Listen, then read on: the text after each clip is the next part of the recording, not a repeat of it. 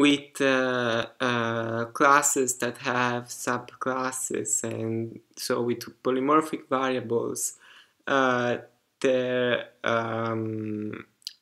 is the uh, static type of the variable uh, which is the declared type of that variable and the dynamic type which is the type of the object currently stored in that variable um, when uh, um, the compiler uh, uses type checking, it looks at the static type, uh, while the um, runtime method lookup uh, looks at the dynamic type. Uh, this enables to uh, have uh, more flexible structures with overriding. Uh, whenever um, a super type variable uh, uh um, is used to make a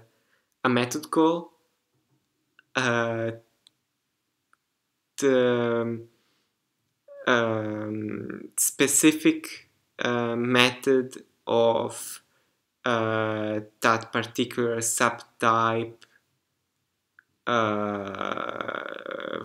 that is stored in that variable uh, will be executed. So this ensures that uh, a method call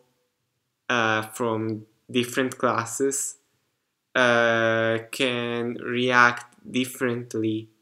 um, can react differently uh, based on the on the particular implementation based on the uh, dynamic type of uh, the, the, the, variable. Uh, so uh, the superclass uh, method can be used when overriding a method uh, by calling the, the, the super method. Um, and fields and methods can have a protected um, accessor uh, access modifier uh, which enables to um, give access to subclasses for these uh, fields and methods. So this is the summary of this chapter and uh, the concepts that um, were uh, were in this chapter uh, are static type which is the type declared uh, the, the declared type of the variable. Uh, then the dynamic type, which uh, is the type of the object uh, currently stored in the variable. Uh, polymorphic method. Uh, so um, um, method call can um, invoke different method calls based on the dynamic type uh, of the variable uh, um, to which the call is made. Then the protect the protected um, access modifier, uh, which gets um, uh, which gives access to subclasses for fields and methods with this modifier. Uh, toString uh, is a method that every object has uh, which returns a string representation of the object uh, and it's more useful when it's uh, when um, overriding is uh, when overriding this method. Uh, overriding is um, at um,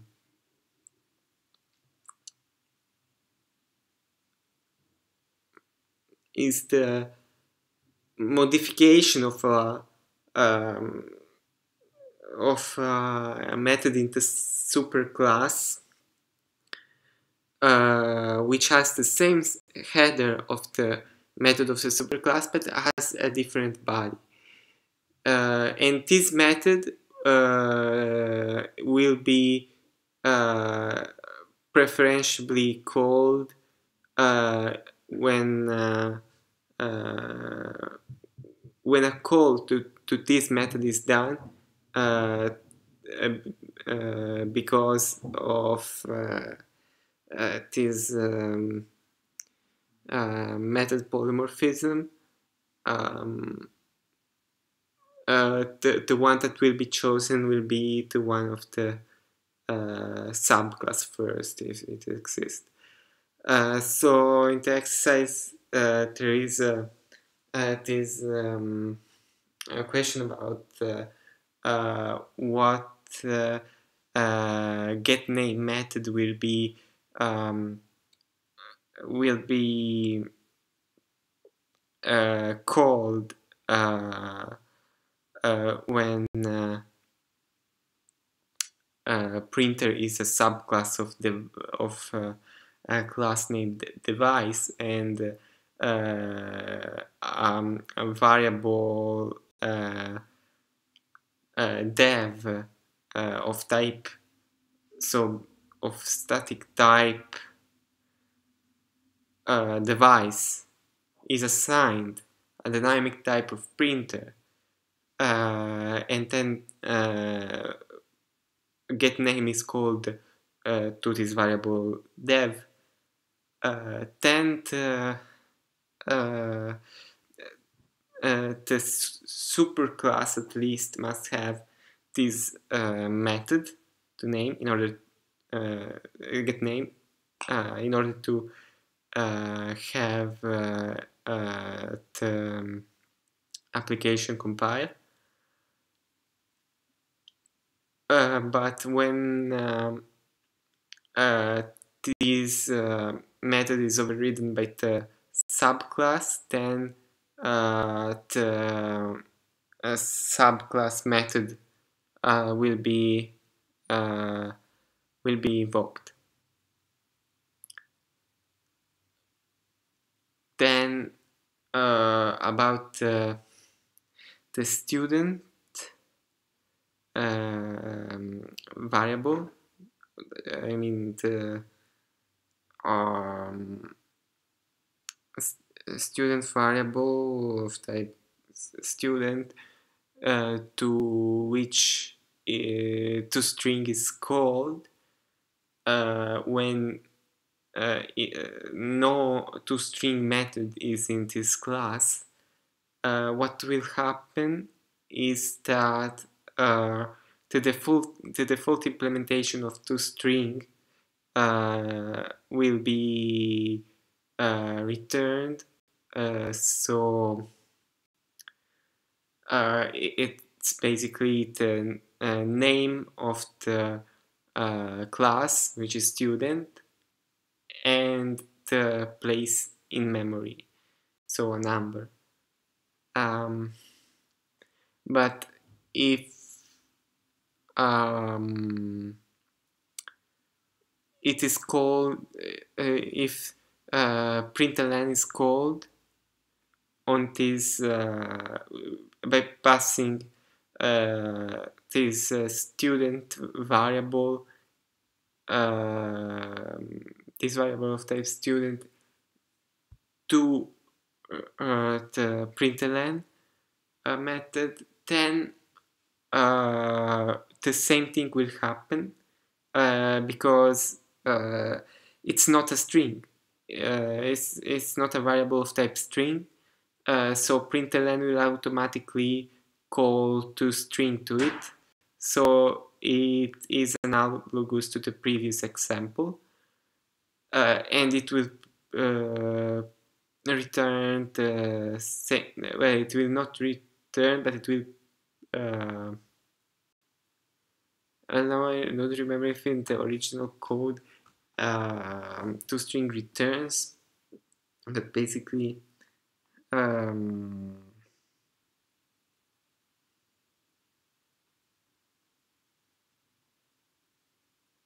no okay it doesn't return so uh, it's just that uh, there is this uh, variable s say string to which this name and the place in memory is assigned while with println the difference will be just that this same information will be printed to the output and then uh, there is this uh, um,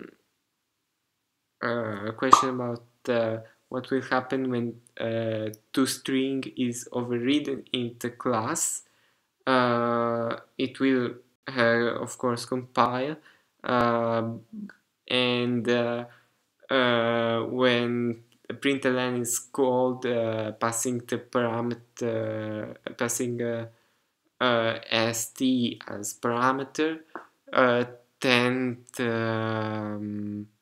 a string representation with the name of the student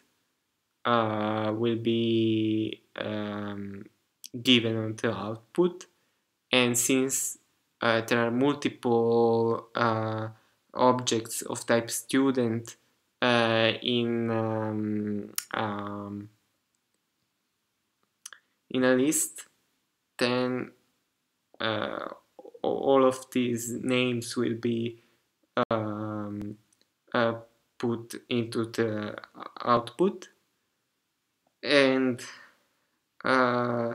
for an example of uh, a variable x with uh,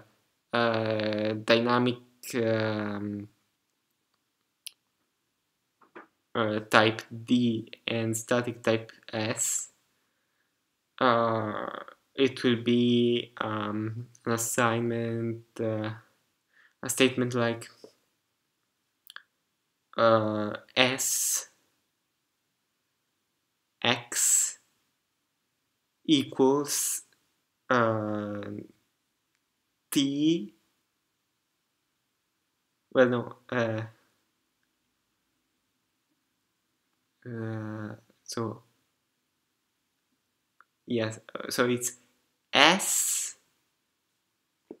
x equals uh, d d this is uh, um, a statement that will make the variable x have static type s and dynamic type d